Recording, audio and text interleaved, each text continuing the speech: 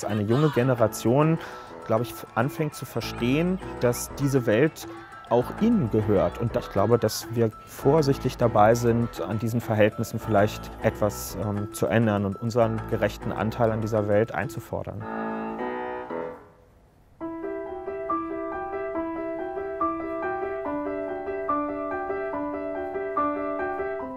Ich meine, das war das Jahr 2004, 2005. Das war alles noch sehr geprägt von den Anschlägen vom 11. September 2001, die, die Kriege in Afghanistan, im Irak. Es ist einfach eine sehr politische Zeit damals gewesen. Und ich bin in ein äh, Büro der SPD damals gegangen, um mal zu schauen, ob das zu mir passt. Und danach habe ich entschieden, das passt. Mhm.